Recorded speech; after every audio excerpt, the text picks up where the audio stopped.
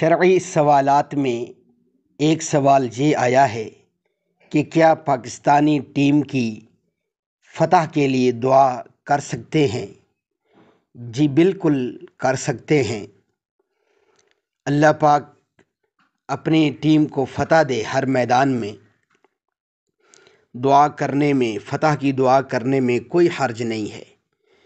अपने मुल्क से मोहब्बत करना ईमान है। अपने वतन अज़ीज़ से मोहब्बत करना ये ईमान की अलामत है। लेकिन किसी भी गेम के पीछे पागल हो जाना कि अगर टीम हार जाए तो बंदा अपना दिल भी हार जाए और अपने आप को मायूस कर ले और हर तरफ़ से बेगानगी का इजहार करने लगे, ऐसा करना बिल्कुल जायज़ नहीं है। और दूसरी बात यह है कि गेमों में इस कदर मुनहमिक हो जाना कि अपने ज़रूरी काम छोड़ छाड़ के बस नज़रें जो है गेम पे ही जमा ली जाए।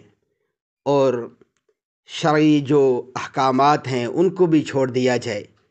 नमाज़ों का अहतमाम छोड़ दिया जाए। नमाज़ों की मसरूफ़ियत की तरफ़ मुतवज रहना और मस्जिद में आना जाना, इसको छोड़ दिया जाए, ये बिल्कुल जायज़ नहीं है।